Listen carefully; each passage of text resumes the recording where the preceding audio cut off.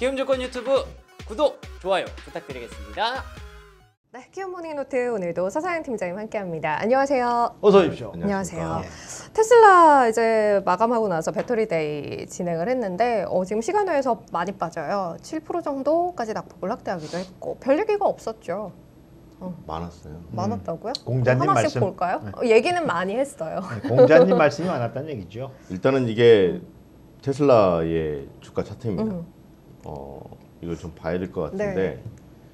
이때 이제 장 끝나고 나서 이장 끝날 때까지만 해도 뭐 일단은 계속 그 얘기가 나왔었어요. 테슬라 배터리데이 이후에 네. 변동성이 커질 거다. 음. 이 분석글들은 좀 많았었고요. 뭐 그럼에도 불구하고 유동성에 의해서 모든 것들이 결정되고 있는 최근의 상황들을 감안해 보면 음. 매수가 몰리면서 상승을 좀 해왔었고요. 그러고 있는데 어제 이제 앨런 머스크가 트위터에다 이상한 네. 소리를 하면서 이제 매물이 나오기 시작했고 그래서 이제 어제 미국 증시에서는 장중에 5.6%가 빠졌습니다. 음. 자 그리고 나서 여기서부터 이제 시작되는데요. 이 5시 반부터 뭘 했냐면 배터리데이 바로 시작한 게 아니라 주주총회부터 먼저 했죠. 음. 아, 주주총회 이제 주주총회에 저기 그저 그 앞서서 배터리 데이를 한 게 아니고 예, 예. 주주총회 끝나고 배터리 데이를 한 거예요. 예. 음. 어, 저는 어, 그때부터 계속 듣고 있는데 음. 좀 빨리빨리 그냥 끝내지 왜 이렇게 한 시간씩이나 하더라고요 주주총회를. 어. 근데 별 얘기도 없어요. 아, 그러니까 주주총회도 저기 그저 근데 절차가 있으니까. 그 내용들 보면 그겁니다. 그러니까 뭐 자기네 잘하고 있고 음. 그 다음에 뭐 조만간에 뭐 올해 뭐한 20, 30% 정도 더 출하를 더 늘어나고 긍정적인 내용들을 많이 얘기를 합니다. 음. 그러면서 시간외로 한 5% 정도까지 네. 상승을 합니다. 그리고 나서부터 이제 본격적으로 배터리 데이가 시작하기 전에 잠깐 쉬었다가요. 그러니까 그리고 나서부터 이제 하는데 시장에서 관심을 가졌던 거는 일단은 뭐 여러 가지 조치도 있지만 가장 주목했던 건 가격 인하, 네. 배터리 가격 그 인하와 관련돼서 어떤 식으로 하느냐 해가지고 그 내용들을 쭉 얘기를 합니다.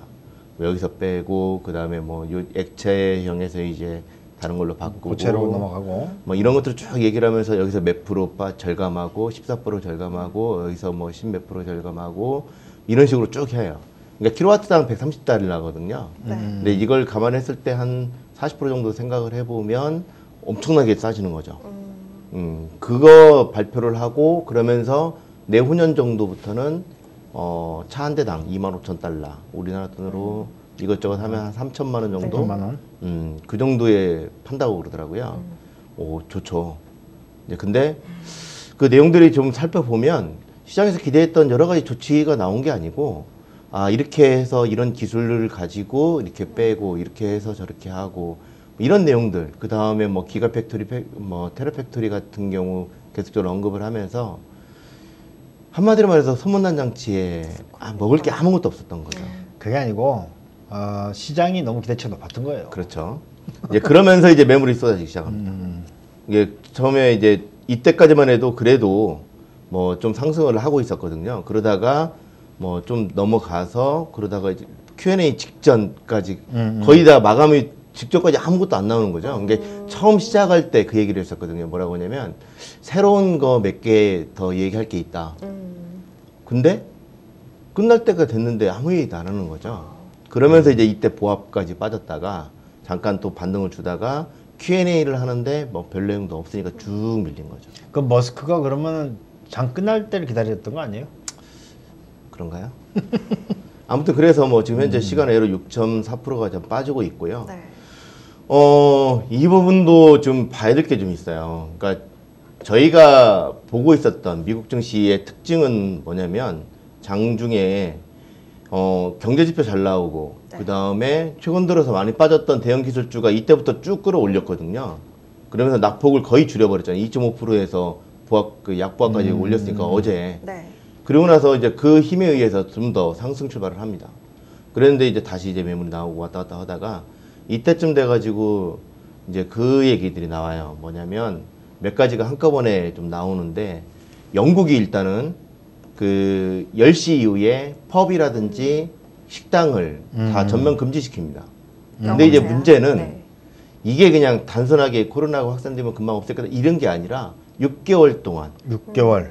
어, 길어졌죠. 진전 없으면. 음, 진전이 없으면 6개월 동안 어, 하겠다라고 언급을 합니다. 그게 미- 지금 코로나 이슈도 미국도 지금 본격적으로 증가를 하고 있거든요. 음. 거기다가 20만 명 사망 소식이 나오면서 네. 어 그러면서 이제 매물이 좀 줄어들기 드디어 이제 20만 명이 넘어선 거죠. 음. 20만 명 넘어섰고요. 그 다음에 이제 일간 그 신규 확진자 수도 5만 명을 계속적으로 넘고 있어요. 음. 네네. 다시 증가를 하고 있는 상황이라고 보시면 돼요. 거기다가 경제 재개가 계속적으로 확대가 되면 이게 대선을 앞두고 있기 때문에 이걸 줄이지는 못해요. 트럼프 입장에서는. 그러고 있는 상황에서 경제 재개가 확대되면 10월달, 11월달 대선 끝나고 나면 하루 사망자 수가 5천 명, 6천 명 좀 많을 좀 1월 달로 넘어가게 되면 12,000명 뭐 이렇게 그게. 걱정이에요, 사실. 이게 지금 큰 문제예요. 자, 그러면 이럴 때 대선도 없다. 끝났잖아요. 대선 끝나고 나면 어떻게 할까요? 당연히 셧다운을 할 수밖에 없죠. 음, 음. 그리고 영국 사례에서 봤듯이 이게 장기화될 수 있어요. 음. 근데 그 전에 이걸 잡아줘야 되거든요. 음, 음. 근데 근데 이제 지금 대선이라는 중대차한 이슈가 좀 남아 있고 중차대한. 그렇죠. 중차대한 네. 이슈가 남아 있고 음. 그 트럼프 같은 경우도 여전히 지금 지지율 차이- 차이가 많이 낮기 때문에 음, 어, 큰 영향을 못 받고 있는 거죠. 어제 뭐 장, 그, 그 사실 확인을 해봐야 되겠지만 트럼프가 보수층에서 저기 그 바이든을 뒤집은 그 그런 저기 그그 그 조사 결과 하나 나온 게 있는 모양이더라고요. 보수 측에서 예, 예. 뭐 그렇죠. 네, 그건 이제 최근 들어서 많이 줄어들고 있는 상황이고 일부에서 가끔씩 역전을 시키는 적이 경향이 나오는데 그게 이, 그 여론조사 결과가 아니라 당선 가능성 당선 가능성. 뭐 이런 것들이 이제 나오고는 있는데 좀 봐야 될 것 같아요. 그러면 지난밤에 이제 뭐 아마존이나 페이스북, 마이크로소프트 이런 쪽이 힘을 받았던 게 단순히 많이 빠진 데 따른 반등이 아니라 뭐 대선 이후에 코로나가 걷잡을 수 없는 상황이 돼서 셔다운될 가능성까지 염두에 둔 움직임이었다 이렇게 아니요. 해석이 되나요? 계속 얘기하잖아요. 이제 지금 자꾸 그러니까 말을 시켜요. 듣고 싶어서 빨리 예민한데 오늘.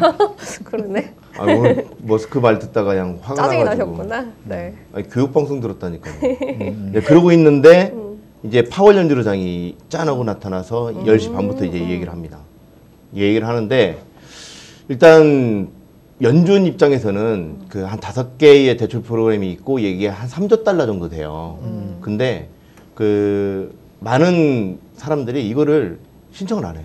왜냐면 진입장벽이 너무 높거든요. 음, 그래서 의회하고 의회 측에서는 야 이거 진입장벽 낮춰라 했는데 므누신도 이거 찬성을 하고 있는 상황이고 그 Main Street 그 대출 같은 경우 이게 6천억 달러 정도 되거든요. 근데 그 중에 2천억 달러를 법을 좀 고치면 이거 다른 데 이용할 수 있는 거 아니냐 뭐 이런 식으로 남의 은행 돈을 가지고 뭐 므누신이 자꾸 얘기를 하고 있거든요. 그러니까 이제 한마디 딱 합니다. 싫은데.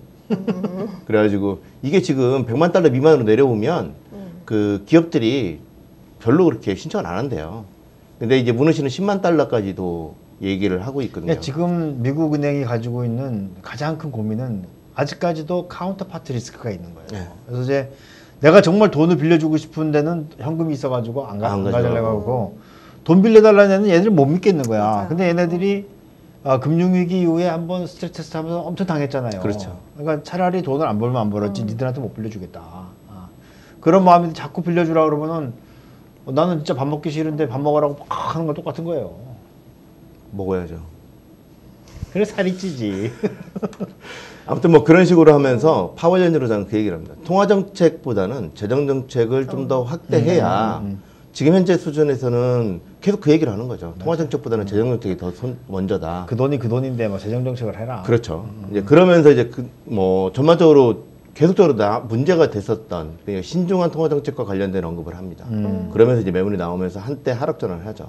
네. 근데 일단은 아마존 같은 경우 버스타인이 그 투자 의견을 상정했고 이게 이게 아마존뿐만 아니라 어 이게 이제 보면 아마존, 알파벳, 페이스북, 애플, 마이크로소프트, 콤캐스트 얘네들 전부 다, 다 투자 의견이나 뭐 이런 것들이 다 상향 조정됐어요 이날 한꺼번에 그 보고서들이 쭉 나왔고요. 네. 그 내용의 핵심은 그겁니다. 여러 가지 앞에 논, 막 논지가 많지만 어 조금 많이 빠졌으니까 음. 그래서 투자 의견 상향 조정 다 그 내용들이에요. 그럼 아까 주연에커가 저 질문한 거랑 또 똑같은 얘기네. 음. 그 이제 그 얘기 하시는 거예요? 그 얘기 하는 거죠 이제. 왜 그러세요? 순서가 정해져 있었던 어, 이제 거죠. 건- 오늘. 오늘은 건들지 말아야 돼. 그러니까요. 건들면 물 것 같아. 쭉 들어보죠.